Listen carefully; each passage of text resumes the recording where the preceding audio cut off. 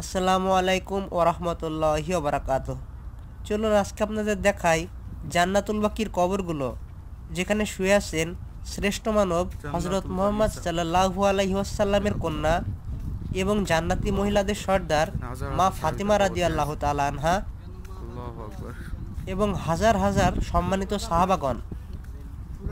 কবরগুলো দেখুন একেবারে সাধারণ অবস্থায় আছে তাই না? অথচ আমাদের সমাজে আমরা কি করি? কবরগুলো টাইলস করে একেবারে চাকচিক্য করে রাখি। কিন্তু এই কবরগুলো দেখুন তো, প্রত্যেকটা ব্যক্তি হচ্ছেন সম্মানিত। কিন্তু এই কবরগুলোর সামনে একটা নেম প্লেটও নেই। কবরগুলো দেখুন, এখানে কিন্তু কোনো নেম প্লেট নেই। একেবারে সাধারণ অবস্থায় আছে। এই স্থানের নাম হচ্ছে জান্নাতুল বাকি।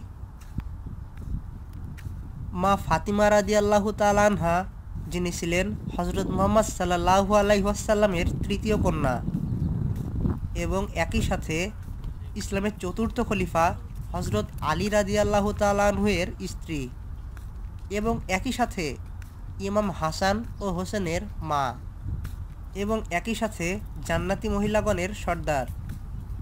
সেই মা ফাতেমা রাদি আল্লাহ তালানহা শুয়ে আছেন এইখানে, এই জান্নাতুল বাকিতে।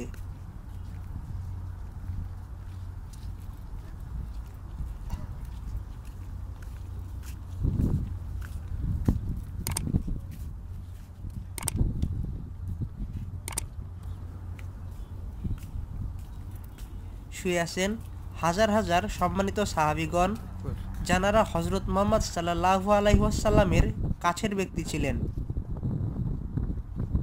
সাহাবিগণ রসুল পাক সাল্লাহু আলাইসাল্লামকে সরাসরি দেখেছেন এবং তার কথা অনুযায়ী আল্লাহ তালার প্রতি ইমান এনেছেন। আমাদেরকে অবশ্যই তাদের মতো হওয়ার চেষ্টা করতে হবে। রসুল্লাহ সাল্লাহু আলাইসাল্লামের দেখানো পথেই অনুসরণ করতে হবে এবং একই সাথে সাহাবিদের আদর্শ অনুসরণ করতে হবে, যেটা রসুল্লাহ সাল্লাহু আলাইসাল্লাম নিজে বলে গেছেন।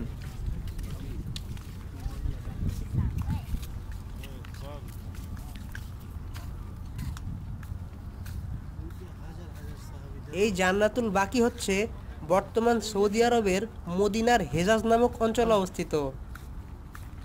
এটি হচ্ছে ইসলামের প্রাচীনতম কবরস্থান এবং প্রথম ইসলামী কবরস্থান।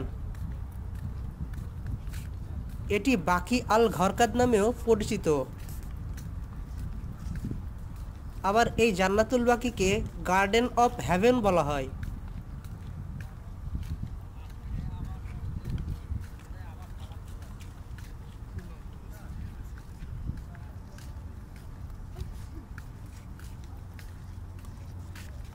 আমরা সবাই একে অপরের জন্য দোয়া করি, যেন আল্লাহ তালা আমাদেরকে মাফ করে দেন। আল্লাহ তালা আমাদের সৎ চরিত্রের অধিকারী হওয়ার তৌফিক দান করুন এবং রসুল্লাহ সাল্লাহু আলহিহাসাল্লামের দেখানো পথ অনুসরণ করে সাহাবিদের মতোই সৎ চরিত্রের অধিকারী হওয়ার তৌফিক দান করুন। আমিন।